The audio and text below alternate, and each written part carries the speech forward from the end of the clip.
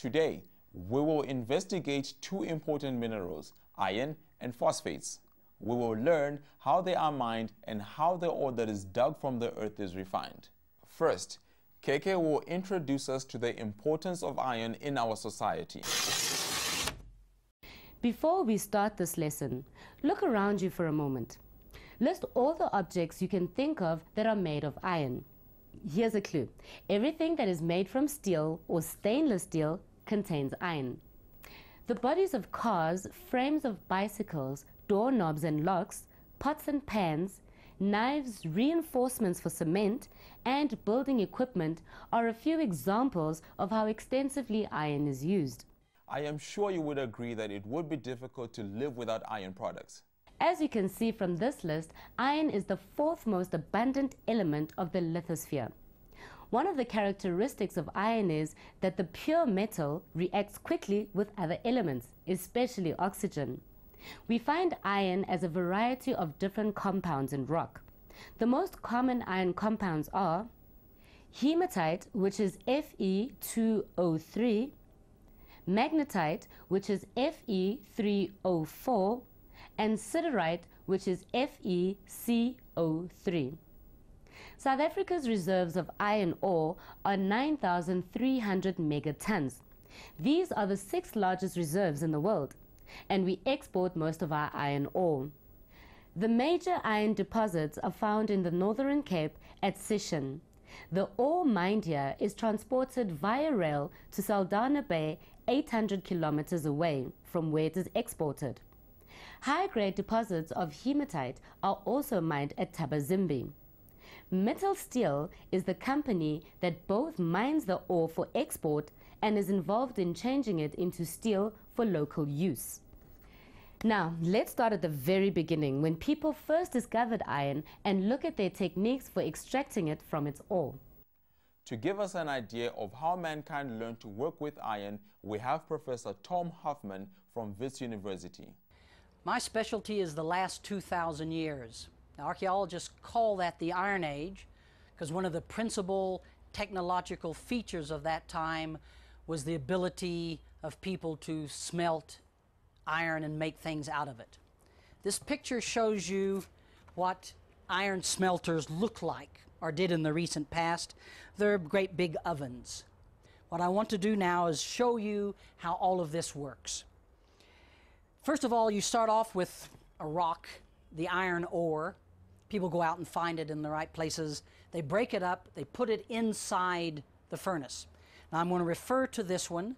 This is a, re a replica of a copper furnace, but the copper and iron work, they work very similar. You would take the iron, break it up, or the copper, break it up, put it inside with charcoal. And you'd have iron ore, charcoal, iron ore, and stuff like that built up. In this case, it's open, but as you remember from this picture, the ovens are closed over.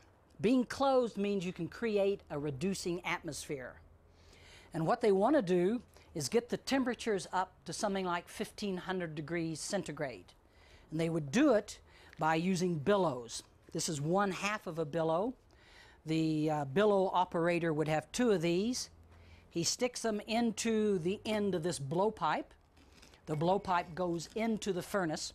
And so where the blowpipes are, that's the hottest part of the furnace. And what we're trying to do here, by going up and down, making it full of air, then pushing the air in, you lift one up as you push the other one down, you go back and forth. This can take several hours, by the way, and you would have alternating guys doing this. You get the temperature so hot that the junk in the ore melts away. You're not trying to melt the ore because that would then create cast iron and you can't work it. So what you're doing is getting the silica, just like sand grains, you're getting the silica out and you create what's called slag. Obviously, they didn't want this. They threw this away. They were looking for bigger chunks that had a lot of iron in them. They take that iron and go to a smithy area. Now, that's just where you've got a hearth on the outside. You still have billows because you want to get it fairly hot, but now it's an oxidizing atmosphere and it doesn't have the same chemical physical bit. And what you're doing is to get it hot enough that you can hammer it and you're breaking away all the bits of slag you don't want, making it into something. Generally speaking, they want to make hoes. This is an ancient hoe. This is a piece of wrought iron. Let's make sure we know the difference between this and cast iron. You look closely, you can see the little dimples on here. This is where the blacksmith used a hammer to pound out the iron, the, it's called a bloom, the iron bloom into this shape. If this was cast iron, you wouldn't see any of that because the iron would have been poured in a molten state into a mold, allowed to cool, and then you've got this rigid form which you can then put hot things onto and stuff like that. Now this would go on the end of a stick like that, and a woman would use this to hoe in the ground to plant the seeds of sorghum and millets, the African crops that they had. Well, some of you may wonder where this started. And to understand the history of this, we've got to go to the Near East, where people in Turkey, Turkey in particular, everybody in that area was doing copper and bronze. But the people in Turkey at about 1800 BC, that's a long time ago, 1800 BC, they were experimenting with iron. They already knew how to do this part, the copper. Now what they had to do was put a top to it and get it higher in a reducing atmosphere. They learned to do that and they, and they started the whole iron smelting industry. It spread from there to Egypt and then later on caravan routes that went across right across North Africa. They came down into West Africa, introduced it to all the populations there, and at about 500 BC, everybody in that area uh, became competent in smelting. So when our first black farmers moved down here, they already knew all about this. Now that we know how early people learned to work with iron, let's hear from KK about current methods of open pit mining and how we refine the ore. Today, iron ore is taken out of the ground by open pit mining. The surface of the ground is removed using huge machines to expose the iron ore beneath. This often happens over a very large area. The ore is blasted out using explosives. As you can see from these photos, the open pit mining removes the soil and destroys the vegetation. Open pit mining completely destroys the beauty of the environment. However, on some mines there are plans to fill in the pits after mining operations are completed and to restore the land to its original condition. Let's move on to the next step in the process. How do we get the iron out of the rock? The ore must be refined. It is crushed and sorted into grades. The best grades of ore contain more than 60% iron. The crushed ore is washed so that the sand and clay can be removed. The iron ore is separated further from unwanted substances using magnets. You've probably played with magnets and seen how iron displays very strong magnetic properties. So when it comes to drawing out the iron, this separating method is ideal. Next, the iron ore is formed into pellets and sent to a blast furnace for sintering. A blast furnace is a huge tower-shaped structure. It's made of steel and is lined with heat-resistant bricks. The iron ore is fed into the top along with lime and coke. What are coke and lime? Well, we're not talking about drinks. Coke is coal that has been heated until it is almost pure carbon, and lime is calcium carbonate. Now let's check on what happens inside the blast furnace. Hot air is blown into the furnace to burn the coke. The carbon is oxidized to form carbon dioxide. This is an exothermic reaction. The heat energy of this reaction pushes up the temperature to over 1000 degrees Celsius. The carbon dioxide reacts with more coke to form carbon monoxide. The carbon monoxide is what's really important. This gas removes the oxygen from the iron oxide, actually reducing it from iron 3 plus to iron.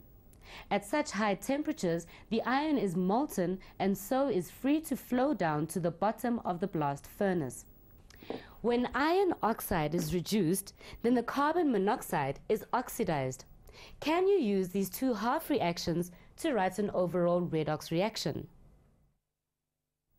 The number of electrons lost and gained must be the same. The lowest common multiple of 2 and 3 is 6.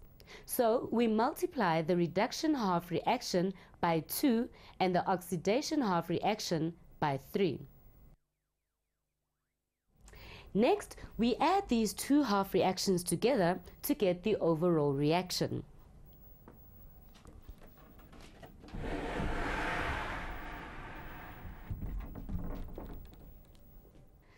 But this is not the only reaction taking place in the blast furnace.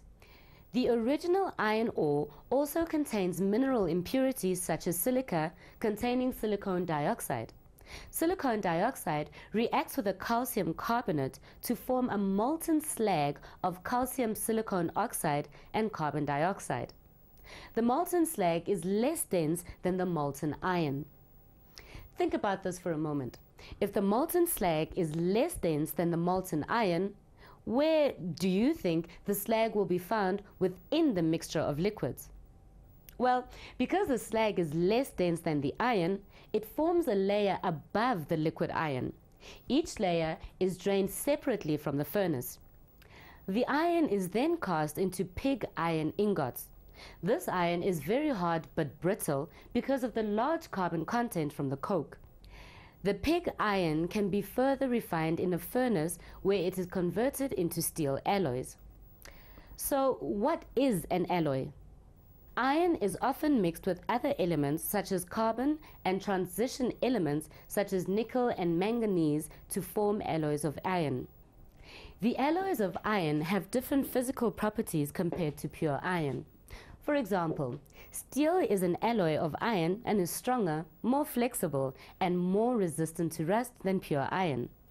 The waste products from the iron extraction process include slag and a variety of poisonous gases.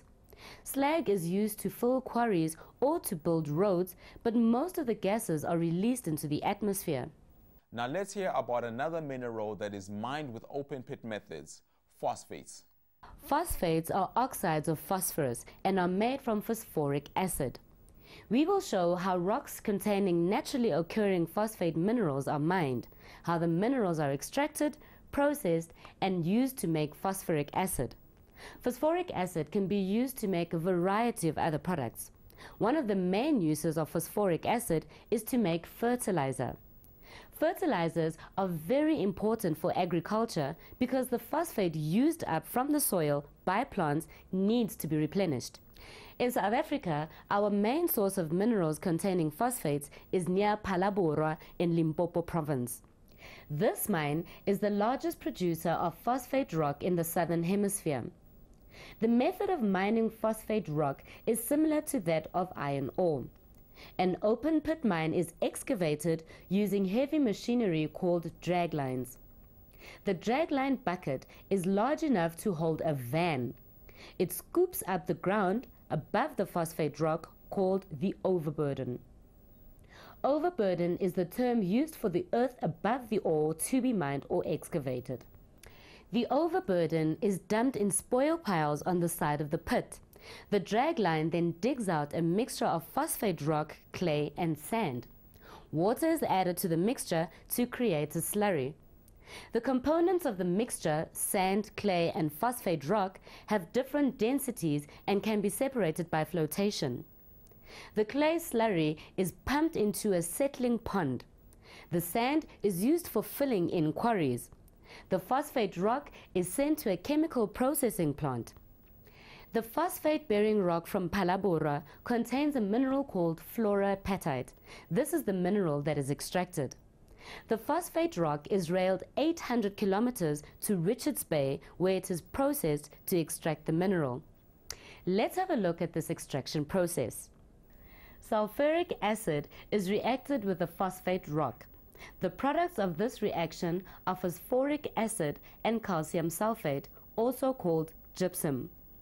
The two are separated by filtration and the gypsum is discharged. the phosphoric acid is concentrated by evaporation in a vacuum. It's then sold to fertilizer producers in South Africa and overseas. At Richards Bay, there is also a fertilizer plant. Here, the phosphoric acid is neutralized with ammonia gas in a large closed container called a reactor. The resulting sludge containing ammonium phosphate is pumped into a drum granulator so that it can be worked into small, regularly sized spheres. This granulation process is intricate and needs extra ingredients called binding and coating agents. The granules are finely dried and bagged. There's a lot of debate around the appropriate use of fertilizers. There are some people who strongly believe that only organic farming methods should be used, while others believe that fertilizers are essential for solving the food requirements of Africa. Some people say that any use of phosphate based fertilizers leads to the pollution of rivers while others believe that if the correct amounts of phosphates are provided for plants, they will use what is there and there will be no excess to be washed into the streams and rivers. There has been a lot to think about in this lesson. We hope you have a better understanding of the benefits and also the disadvantages of mining these two minerals. You'll find more information on our website www.mindset.co.za forward slash learn. Take care.